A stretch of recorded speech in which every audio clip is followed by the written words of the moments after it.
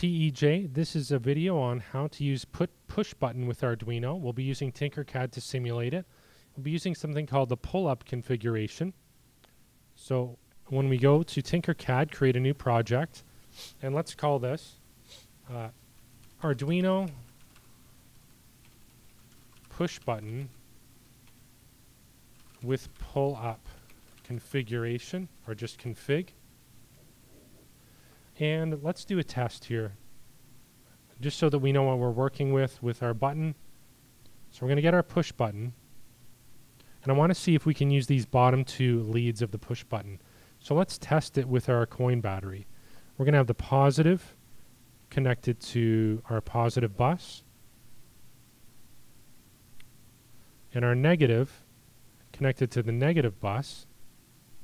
And then what we'll do is um, we're going to have an LED. Let's see if an LED is able to be powered. So we're going to have our resistor going from positive. So current comes through the resistor.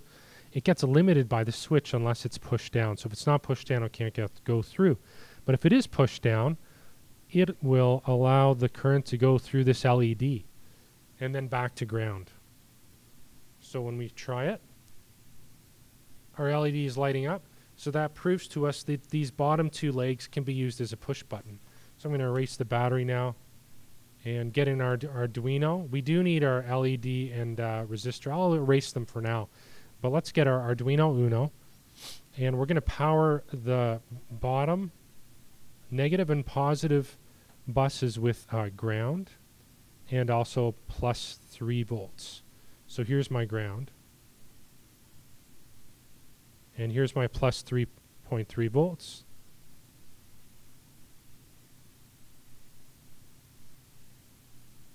And you can make it, spend more time to make it square.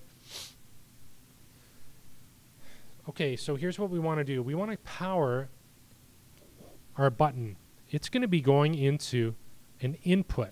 So pin 7 is going to be used for input. So in the, uh, our last video with the LEDs, we were using pins for output, but we're going to be using pins for input. That means that pin 7 is going to be either receiving an electrical signal or not an electrical signal. So we're going to have pin 7 going to uh, the other leg of our uh, button.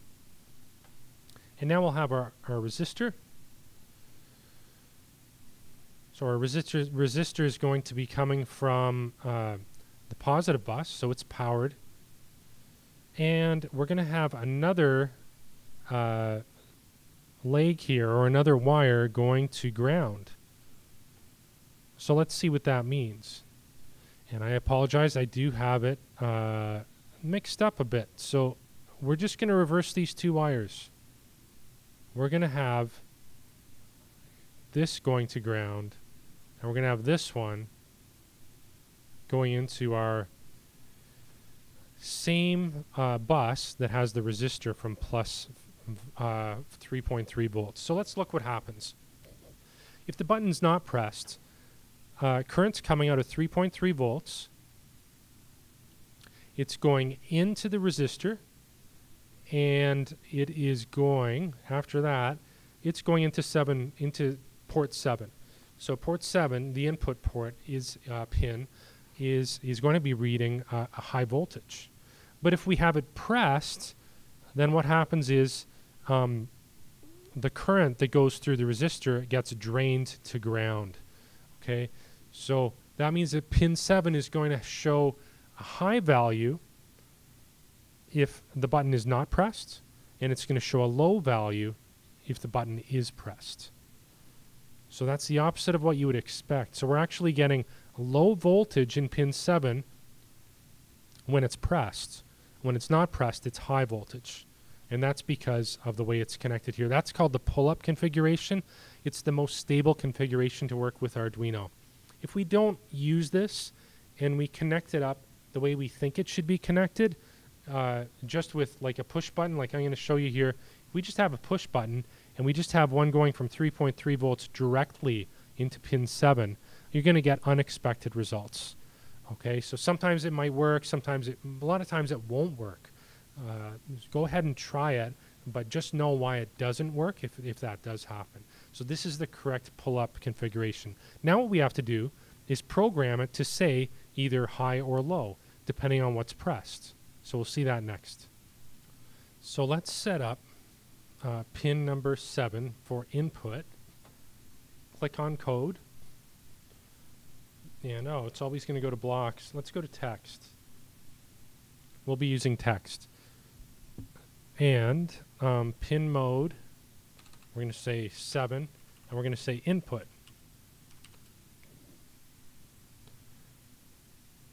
Connection lost. We've been having issues with the internet all day.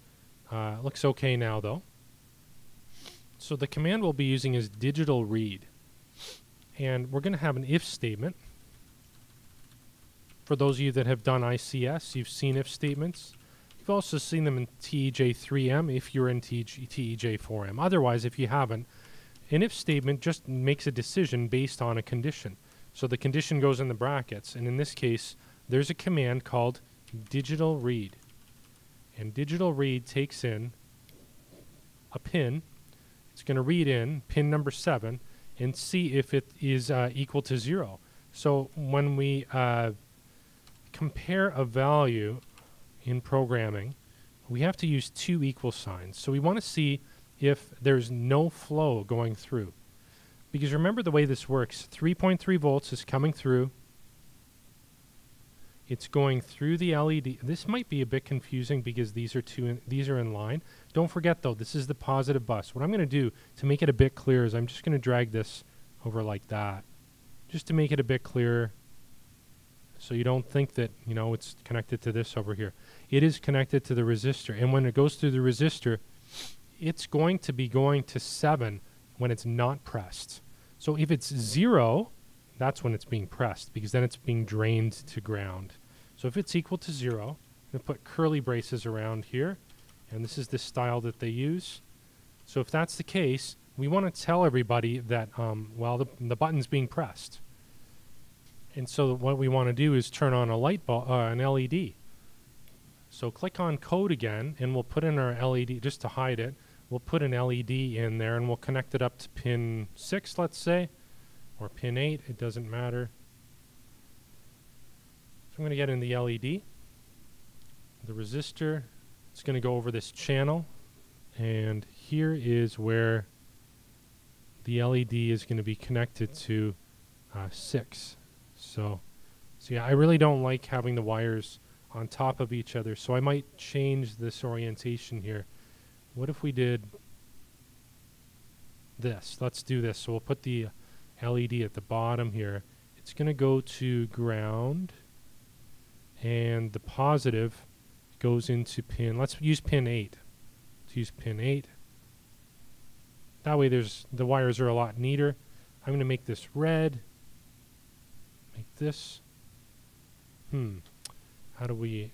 So this is 3.3 volts. This is red. This is this is our ground, so that's black. This is the cathode of the LED. It's black. This is going to ground, so it's also black. And this wire, I'm going to leave it green because it's going to 7. It's providing input for the circuit. It's either going to be 1 or 0, high or low.